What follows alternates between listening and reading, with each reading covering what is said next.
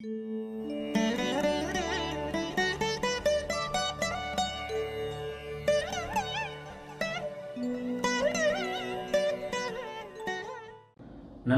வணக்கம். எல்லோரும் நன்றாக இருப்பீர்கள். மா சதாசிவம் ஏரியூர் ஒன்றிய செயலாளர். ஜாதிக்கும் ஜாதகத்திற்கும் சம்பந்தம் உண்டா குருஜின்னு கேட்குறீங்க ஜாதிக்கும் சா ஜாதகத்திற்கும். ஜாதிக்கும் ஜாதகத்திற்கும் சம்பந்தம் உண்டா குருஜி? அப்படின்னு சொல்லிட்டு மா சதாசிவம் ஏரியூர் ஒன்றிய செயலாளர் கேட்குறீங்க ஜோதிடத்தில் ஜாதி சொல்லப்பட்டிருக்கிறது. அதாவது குலம் என்ற அமைப்பில் வந்து ஒருவர் அந்தன குலம் பஞ்சம குலம் சூத்திர குலம் அப்படின்னு சொல்லப்பட்டிருக்கிறது. அவைகள் உண்மையிலேயே நாம் வகுத்து வைத்து வைத்து கொண்டிருக்கின்ற நாம் வந்து வகுத்து வைத்து கொண்டிருக்கின்ற ஜாதிய அடிப்படையின் அமைப்பில் வந்து நிச்சயமாக சொல்லப்படவில்லை. எந்த ஒரு இடத்திலும் ஜாதிக்கும் ஜாதகத்திற்கும் ஜோதிட அடிப்படையில் கண்டிப்பாக சம்பந்தமே இல்லை. ஜோதிடத்தில் கூறப்பட்டிருக்கின்ற அந்தன கிரகங்கள் பஞ்சம சங்கிரம கிரம கிரகங்கள் அதே போல வேறு விதமான கிரகங்கள் அதாவது சூத்திர கிரகங்கள் வைசிய கிரகங்கள். இப்போ உதாரணமாக புதனை வந்து வைசிய கிரகம்னு சொல்லுவோம். ஏன்னா புதன் வந்து வியாபாரத்தன்மையுடைய எதையும் ஒரு மனிதன் வியாபாரத்தன்மையுடன் நோக்குகின்ற ஒரு கிரகம் அப்படிங்கிறதுனால அது வந்து புதனை வந்து நம்ம வந்து வைசிய கிரகம்னு சொல்லப்பட்டது. யுத்த கிரகமாக செவ்வாயை வந்து யுத்தம் புரி யுத்தம் புரிகின்ற ஒரு அமைப்பு சத்திரிய கிரகம்னு சொல்லப்பட்டது. செவ்வாய் வந்து சத்திரிய கிரகம்னு சொன்னால் செவ்வாய் வலுத்தவர். ஜோதிடத்தில் கூறப்படுகின்ற அந்தனர் சேவை கிரகம் என்று சொல்லப்படக்கூடிய சனி. கடுமையான ஒரு மிலேச்ச கிரகம் என்று சொல்லப்படக்கூடிய கீழ் ஜாதி அமைப்புன்னு சொல்லப்படக்கூடிய ராகு கேதுக்கள். இது போன்ற அமைப்புகள் நிச்சயமாக இன்றைய கலாச்சாரத்தின் அடிப்படையில் நாம் நம்மையே வெறுக்கத்தக்க அளவில் பிரித்து கொள்கிற ஒரு அமைப்பு. உண்மையிலே வந்து ஜாதி என்பது இன்னும் ஒரு நூறு வருஷம் இருக்குமான்றதே ஆச்சரியம்தான். உலகம் குளோபலிய ஒரு பொ- பொருளாதார ம- மயமாக்க ஒரு ஒரே கிரா ஒரே கிராம அடிப்படையில் உலகம் போய்கொண்டிருக்கின்ற நிலைமையில நிச்சயமாக நம் நாம் நமக்குள்ளே போட்டு கொண்டிருக்கின்ற ஒரு கோடாகிய ஜாதி அமைப்பு ஒரு நாள் ஒளியத்தான் போகிறது. அது ஒளிவது தான் வந்து ஏற்றுக்கொள்ளப்படியா? சகலரும் ஏற்றுக்கொள்ளப்படாத ஒன்று வந்து தானே அழிந்துவிடும் அப்படிங்கிற நியதியில் இன்னும் சில ஆண்டுகளில் வந்து ஜாதி அமைப்புகள் க- ஜாதிய கட்டமைப்புகள் நிச்சயமாக ஒழியும் அப்படிங்கிறது தான் உண்மை. ஆனால் நீங்கள் கேட்கின்ற அந்த ஜாதகத்திற்கும் ஜாதிக்கும் சம்பந்தம் உண்டா? அப்படின்னா ஜோதிடத்தில் கூறப்பட்டிருக்கின்ற கிரகங்களுடைய குணங்களின் அடிப்படையில் ஒரு மனிதன் எப்படிப்பட்ட தன்மையோடு இருப்பான் அப்படிங்கிறத குறிப்பதற்காகத்தான் சுக்கிரனும் குருவும் அந்தன கிரகங்கள். புதன் வைசிய கிரகம் செவ்வாய் சத்திரிய கிரகம் சனி அந்த சேவை கிரகம் சூத்திரன் என்று சொல்லப்படக்கூடிய சேவை கிரகம். ராகு கேதுக்கள் மிலேச்சர்கள் அப்படின்னு சொல்லப்படக்கூடிய அந்த சேவைக்கும் கீழான ஒரு கிரகம் அப்படின்னு சொல்லப்பட்டதே தவிர நிச்சயமாக ஜாதி அடிப்படையில் சொல்லப்படலை.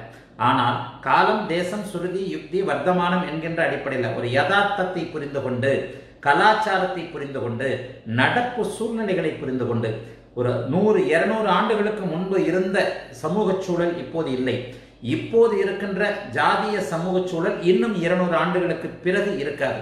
அப்போ நான் ஏற்கனவே பத்தாம் அதிபதியும் ஒரு தொழில் அதன் அது செல் அது சொல்லும் தொழில்களம் அப்படிங்கிற ஒரு கட்டுரையில் அந்த காலத்தில் சில ஸ்லோகங்களை சொல்லி சொல்லி காட்டியிருந்தேன். அதாவது என்னன்னா ஒரு கீழ்குளத்தில் கீழ்குளத்தா கீழ்குளமாக கருதப்பட்ட ஒரு குளத்தில் பிறந்தவனுக்கு அரசனாகும் ராஜயோக அமைப்பு இருந்தால் கூட அவன் அரசனாக மாட்டான். அவன் குலத்தின் தொழிலின் முதன்மையானவனாக இருப்பான் அப்படின்னு சொல்லு அப்படின்னு அந்த காலத்தில் சொல்லப்பட்டது. ஒரு அரச குலத்தில் பிறந்தவனுக்கு மட்டுமே ஒரு மேல் அமைப்பில் பிறந்தவனுக்கு மட்டுமே அரச யோகம் இருந்தால் அவன் அப்படி ஆவான் அப்படின்னு மட்டும் சொல்லு அப்படின்னு சொல்லப்பட்டது. ராஜயோகமாக இருந்தாலும் கீழ்குளத்தில் பிறந்தவன் அரசனாக மாட்டான்னு சொல்லு அப்படின்னு சில விதிமுறைகள் சில ஸ்லோகங்கள் இருந்தது. ஆனால் இந்த காலத்தில் எல்லோரும் இந்நாட்டு மன்னர் அப்படிங்கிற ஒரு நிலைமையில இந்த காலத்தில் யாராக இருந்தாலும் ஒருவருக்கு நான் சொல்லுகின்ற அந்த சிம்மம் சிம்மாதிபதி வலுத்து சிவராஜ யோக அமைப்பு இருந்தால் அவர் பிரதமராக மன்னர் கிடையாது. அப்போ கூட நம்ம வந்து கட்டுப்பாட்டு மன்னர் என்பவர் கேள்வி கேட்க முடியாத நபர். ஆனால் இங்கே முதல்வர் பிரதமர் போன்றவர்கள் நம்ம வந்து சட்டத்துக்கு உட்பட்டு இயங்க வேண்டியவர்கள். அந்த அமைப்பில் வந்து இன்றைக்கு வந்து ஜாதி கட்டுப்பாடுகளை வந்து நீங்கள் கலாச்சார அமைப்புகளுக்குள்ள மீறி ஜோதிடம் சொல்லவே முடியாது. அந்த காலத்தில் கூட ஜாதிய அமைப்புகளில் அந்த ஜோதிடம் கட்டுப்படுத்தப்பட்டு வைக்கப்படலை. கிரகங்களுடைய குணங்களுக்கு ஏற்றாற் போல ஒரு அந்தணன் யாரையும் வந்து கத்தியால் அடிக்க மாட்டான். ஒரு அந்தரன் அடி அடி அடித்தால் கூட தான் வந்து அதை பொறுத்து கொண்டு போய் விடுவான். அப்படிங்கிற ஒரு சாந்தமான குணமுடையவன் அந்த அந்தரனாக இருப்பான். அப்படிங்கிற அமைப்பில் குருவும் சுக்கரனும் அந்தன கிரகமாக சொல்லப்பட்டது. செவ்வாய் அடிக்காவிட்டாலும் சும்மா முறைச்சு பார்த்தாலே நம்மளை அடிப்பான். நாம சும்மா அப்படியே பார்த்தா கூட என்ன என்ன பார்க்குற அப்படின்னு சொல்லிட்டு வம்புக்கு இழுப்பான். சும்மா நிற்கிறவனையே பக்கத்தில் இருக்கிறவன காலம் வச்சிட்டே அப்படின்னு சொல்லிட்டு வீண் வம்பு இழுக்கிறவன் செவ்வாய். செவ்வாய் வலுத்தவன் வீண் வம்பு இழுத்து நம்மை அடிப்பான் அப்படின்றதுனால அவன் தான் சத்திரிய கிரகம்னு சொல்லப்பட்டது. புதன் வியாபார திறமையோடு. புதன் வலுத்தவன் இவரால் நமக்கென்ன லாபம் அப்படிங்கிற ஒரு வியாபார தன்மையோடு மற்றவர்களை கவனிப்பான் பார்ப்பான் அப்படிங்கிறதுனால அது வைசிய கிரகம்னு சொல்லப்பட்டது. சனி சேவை தாழ்வு மனப்பான்மையோடு. தாழ்வு மனப்பான்மையோடு பிறருக்கு அடிமையாக இருக்கிறத விரும்புவான். சுபத்துவம் இல்லாத பாவத்துவ சனி தாழ்வு மனப்பான்மையோடு பிறர் அந்த என்னால் அந்த வியாபாரம் பண்ண முடியாது நான் இவரை மாதிரி இருக்க முடியாது இவர்கிட்ட வேலை செய்கிறதுக்கு தான் நான் லாயக்கு இவரை மாதிரி என்னால் என்றுமே முதலாளியாக முடியாது அப்படிங்கிற ஒரு தாழ்வு மனப்பான்மையோடு சேவை மனப்பான்மையோடு அடிமை மனப்பான்மையோடு இருப்பான் அப்படிங்கிறதுனால தான் வந்து அந்த சனியை சேவைக்காரகன் என்று சொல்லப்படக்கூடிய சூத்திர அமைப்பாக சொல்லப்பட்டது. அதனை அடுத்து ராகு கேதுக்கள் அந்த பச்சோந்தி கிரகங்கள் இருக்கும் இடத்தை பொறுத்தவை. ஆயினும் அவை நிழல் கிரகங்கள் பாவ கிரகங்கள்ன்றதுனால அந்த சூத்திரனுக்கும் கீழே இருக்கின்ற சில அமைப்புகளா. மிலேச்சன்னா வந்து வெளிநாடு வெளிமாநிலம் கொஞ்சம் இந்த இடங்கள்ல இருக்கிறது. அந்த மாதிரியான கிரகமாக சொல்லப்பட்டதே தவிர நிச்சயமாக ஜோதிடத்தில் ஜாதிய அமைப்புகள் ஜாதகத்திற்கும் ஜாதிக்கும் மா சிதா மா சதாசிவம் ஏரியூர் ஒன்று ஒன்றிய செயலாளர் உங்கள் கேள்விப்படி இல்லை. நீங்களே கொஞ்சம் ஒரு வேடிக்கைக்காக கூட கேட்டிருப்பீங்கன்னு நினைக்கிறேன். சரி அடுத்து சென்ற வாரம் கமெண்ட் போட்டவங்களே பெரும்பாலும் கமெண்ட் போடுறவங்கெல்லாம் உங்களுடைய சொந்த ஜாதகத்தை தான் கமெண்ட்டாக போடுறீங்க. தயவுசெய்து அது என்னுடைய பார்வைக்கே வரப்போகிறதில்ல அந்த என்னுடைய பார்வை அமைப்புக்கு அதை அனுப்ப மாட்டாங்க அதையும் சொல்லிடுறேன். லைவில் யூடியூப் லைவில் தினசரி ஒரு மணி நேரம் தர்றேன் நான். கிட்டத்தட்ட இப்போ வந்து வாரத்தில் ஒரு நாள் மிஸ் பண்ணால் கூட அதுவும் வேலைப்பழுவு அத்தனை வேலைப்பழுவுகளுக்கு இடையிலையும் வந்து தினசரி ஒரு மணி நேரம் லைவ் வர்றேன். உங்களுடைய சொந்த ஜாதகங்களை ஜாதகங்களுக்கு பதில் கொடுக்கறதுக்காகவே. ஆகவே தயவு செய்து உங்களுடைய சொந்த ஜாதகத்தில் உள்ள சந்தேகங்களை கேட்பதற்கு பிறந்த நாள் நேரம் இதோடு இருக்கிறத நான் செய்கின்ற யூடியூப் லைவ்ல நீங்கள் வந்து உபயோகப்படுத்திக்கங்க. ஃபேஸ்புக் லைவ்ல பொதுவான கமெண்ட்டுகளை பொதுவான கேள்விகளை கேட்கும்போது அது உடனே என்னுடைய நாலஞ்சுக்கு வரும். அதற்கு என்னால் முடிந்த வரைக்கும் பதில் கொடுக்க முடியும் அப்படிங்கிறது தான் உண்மை. சரி அடுத்து ஜிஆர் நர்மதன் முகில்வர்மன். நர்மதன் முகில்வர்மன் வணக்கம் ஐயா. ஆறாம் இடம் லக்னாதிபதி மற்றும் சூரியன் சம்பந்தப்பட்டால் அடிமை வேலை என்று எடுப்பதா? ஆறாம் இடம் லக்னாதிபதி. மற்றும் சூரியன் சம்பந்தப்பட்டால் அடிமை வேலை என்று எடுப்பதா? வேலை வாங்கும் அமைப்பு என்று எப்படி பிரித்து பலன் எடுப்பது? வேலை வாங்கும் அமைப்பு வேலை செய்யும் அமைப்பு. நீங்கள் கேட்கறது. ஜிஆர் நர்மதன் முகிழ்வர்மன் ஆறாம் இடம் லக்னாதிபதி மற்றும் சூரியன் சம்பந்தப்பட்டால் அடிமை வேலை என்று எடுப்பதா? வேலை வாங்கும் அமைப்பு எடுப்பதா? இதற்குத்தான் நான் தெளிவாக இந்த சுபத்துவ பாவத்துவ அமைப்புகளை நர்மதன் பேர் என்ன? நர்மதன் முகிழ்வண்ணன் இதற்காகத்தான் நான் உங்களை சொல்றேன். சுபத்துவ பாவத்துவ அமைப்புகள். சூரியனும் சனியும் தொழில்காரகர்கள் அப்படின்னு சொல்லிட்டு நம்முடைய ஜோதிடத்தில் சொல்லப்படுகிறது. அப்போ தொழில்காரர்கள் காரகர்கள் அப்படின்னு சொன்னால் இருவருக்குமே இருவருமே தொழிலை கொடுப்பவர்கள் அப்படின்னு சொன்னால் இருவருக்கும் இருவரும் தருகின்ற தொழில் அமைப்புகளுக்குள்ள வித்தியாசம் என்ன அப்படின்றத ஜோதிடம் தேவரகசியம் கட்டுரைகள் எல்லாம் சொல்லியிருக்கிறேன். அதை நீங்கள் பார்த்தாலே நிறைய விஷயங்கள் உங்களுக்கு புரியும். அந்த அமைப்பின்படி வேலை செய்து சம்பாதிப்பவராக அடிமை வேலை செய்து சம்பாதிப்பவராக சனி வைப்பார். வேலை கொடுத்து தொழில் கொடுத்து சம்பாதிப்பவராக சூரியன் வைப்பார். சூரியன் எப்போதுமே தலைமை தாங்கும் பண்புக்கு இதில் இருக்கிறவர் சூரியன் எப்போதுமே தலைமை தாங்கும் பண்பை கொண்டவர். ச- தலைமை தாங்கும் பண்பை கொண்ட ஒரு கிரகம் வந்து நிச்சயமாக தொழில் செய்து தான் வந்து அடுத்தவர்களுக்கு வேலை கொடுக்கறதா இருக்குமே தவிர தானே வேலை செய்யாது. ஆகவே ஒரு ஒருவருக்கு ஒருவருடைய ஜாதகத்தில் ஆறு பத்தாம் இடங்களோடு வலுத்து உபசயஸ்தானங்கள் என்று சொல்லப்படக்கூடிய ஆறாம் இடத்தோடு பத்தாம் இடத்தோடு சுபத்துவமாக சனி இருக்கின்ற நிலைமையில அவர் வந்து வேலை செய்வார் நிரந்தர வேலை. பாவத்துவமாக இருக்கின்ற நிலைமையில வெட்டியான் போன்ற வேலைகள். ஒரு ஒரு க- ஒரு க- ஒரு கடத்துல சொல்லியிருந்த பாருங்க. ஒரு ஜாதகத்தின் அதிக சுபத்துவம் உள்ள கிரகத்தின் தொழில் அமையும் அப்படின்னு சொன்னீங்கன்னா வெட்டியானுக்கு எப்படிப்பட்ட அமைப்பு? சனி சுபத்துவம் இருந்தால் அவர் வெட்டியான் ஆக மாட்டாரே அப்படின்ற கேள்விக்கு கேள்வி வந்தது. அங்கே நான் சொன்னேன் சனி குறைந்த அளவு சுபத்துவமாக இருப்பார். இங்கே சுபத்துவ பாவத்துவ அமைப்புகளை மற்ற கிரகங்களின் தொடர்புகளோடு நீங்கள் புரிந்து கொள்ள வேண்டும்.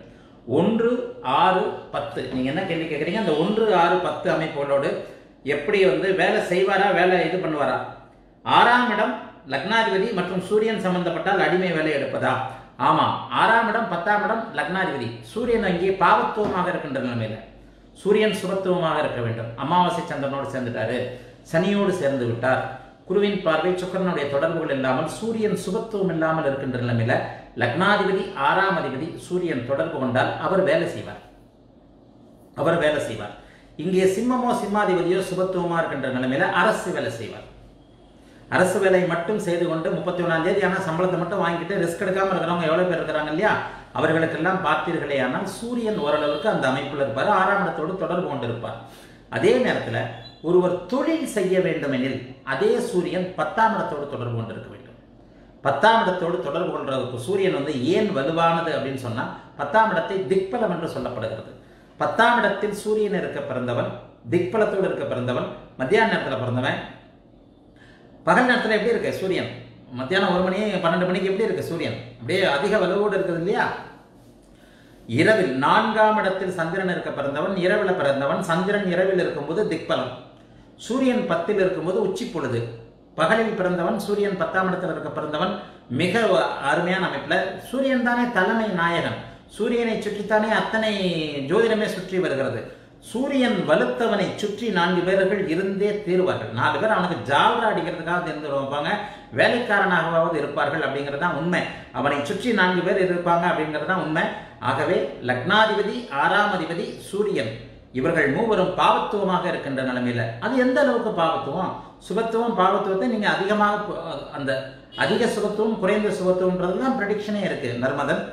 ஆக ஆறாம் இடம் சுபத்துவமாகி அங்கே சூரியனும் லக்னாதிபதியும் தொடர்பு கொண்டிருக்கின்ற நிலைமையில ஒருவர் வேலை செய்வதில் ஆய் ஆர்வமாக இருப்பார். அதே சூரியன் இங்கே சனி சம்பந்தப்பட்டால் சனி வேலை செய்து பிழைப்பதற்கு காரணமானவன். சூரியன் வேலை கொடுத்து பிழைப்பதற்கு காரணமானவன். இதே சூரியன் பத்துக்குடையவர் லக்னாதிபதி இதில் இருந்தார்னா பத்தாம் இடத்தோடு சுபத்துவமாக தொடர்பு கொண்டாரேயானால் சூரியனுக்கு திக்பலம் என்பதே ஒரு வகையில் சுபத்துவம் தான் கூடுதலாக அவர் சுக்கரனோடு இருந்து சுக்கிரனை சுபத்துவப்படுத்தி சுக்கிரனை அஸ்தங்கப்படுத்தி சுபத்துவமாக இருக்கின்ற நிலைமையில குருவின் பார்வையும் இருந்தால் அவர் வேறு விதமான தலைமை தாங்கக்கூடிய அமைப்பாக வேலை வாங்கக்கூடிய அமைப்பில் அவர் இருப்பார். தொழில் பண்ணக்கூடிய அமைப்பில் இருப்பார். ஒருவர் தொழில் செய்வதற்கு சக்சஸ்ஃபுல்லாக தொழில் செய்வதற்கு சூரியனுடைய தயவு கண்டிப்பாக தேவை. அதுலேயும் சூரியனுடைய பத்தாம் இடத்து தயவு கண்டிப்பாக தேவை. பத்தாம் இடம் தான் தொழில்காரங்க தொழில் அமைப்புன்னு சொல்லப்படுகிறது. நல்லா பார்த்தீங்கன்னா தொழில் அமைப்புள்ள ரெண்டு கிரகம் தான் திக்பலம். ரெண்டு பாவ கிரகம் பாவ கிரகங்களுக்கு மட்டும்தான் நான் திக்பலத்தை அடிக்கடி அழுத்தி சொல்லுகிறேன். சுபகிரகங்களுக்கு நான் திக்பலத்தை பெரும்பாலும் சொல்றதே இல்லை. ஸ்தான பலத்தை தான் சொல்வேன். ஸ்தான பலம் என்று சொல்லப்படக்கூடிய ஆட்சி உச்சம்.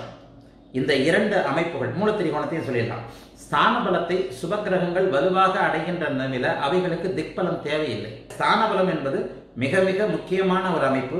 அந்த ஸ்தான பலம் என்பது சுப கிரகங்களுக்கு மட்டும்தான்.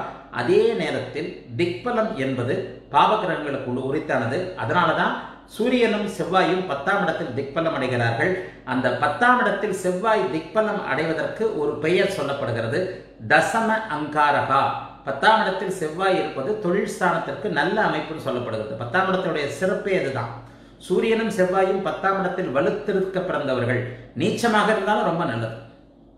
பாவக்கிரகங்களான சூரியனும் செவ்வாயும் வேறு விதத்தில் பாவத்துவம் அடையாமல் அப்படியே வந்து நீச்சமாக இருக்கின்ற நிலைமையில கூட அவர்கள் அங்கே ஸ்தான பலத்திற்கு பதிலாக திக்பலம் என்று சொல்லப்படக்கூடிய பத் இரண்டாவது ஸ்தான பலத்திற்கு இரண்டாவதாக சொல்லக்கூடிய நிலையை அடைவது மிக உயர்வான நிலைமைன்றதுனால தான் பத்தாம் இடத்துல சூரியனும் செவ்வாயும் திக்பலம்.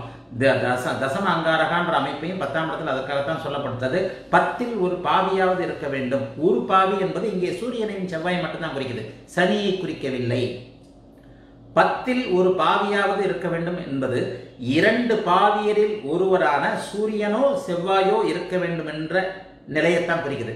உடனே பத்தில் ஒரு பாவியாவது இருக்கணும்னா ராகு இருக்கலாம் சனி இருக்கலாம்னு போயிடக்கூடாது. மொத்த பாவ கிரகங்கள் செவ்வாய் சனி ராகு கேது சூரியன் அரைப்பாவர். பாவர் தான் வரும். பாவர் கணக்கில் தான் வருவார். செவ்வாய் சனி சூரியன் ராகு கேது. இந்த ஐந்து கிரகங்களில் சூரியனோ செவ்வாயோ இந்த இருவரில் ஒருவர் மட்டும்தான் இருக்க வேண்டும் அப்படிங்கிற அடைப்பில் தான் பத்தில் ஒரு பாவராவது இருக்க வேண்டும் அப்படின்னு சொல்லப்படுதுங்க சரிங்களா?